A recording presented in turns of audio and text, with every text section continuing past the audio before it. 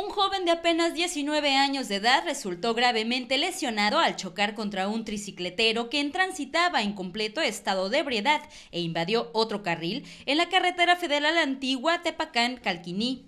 Tras el impacto, el motociclista terminó debajo de una carroza que circulaba por la zona, cuyo conductor no alcanzó a frenar y arrastró más de 10 metros al joven y a su motocicleta.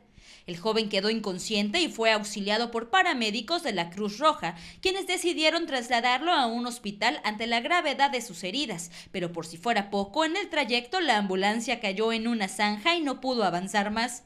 Hasta el lugar llegó una camioneta tipo estaquita cuyo conductor intentó sacar la ambulancia pero le fue imposible. Fue necesario el apoyo de una grúa para liberar el vehículo de rescate y poder trasladar al lesionado hasta el hospital donde se desconoce su estado de salud.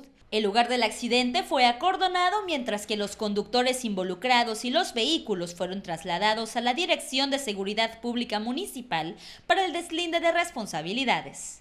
Con información de Eric Kamal, Telemar Noticias.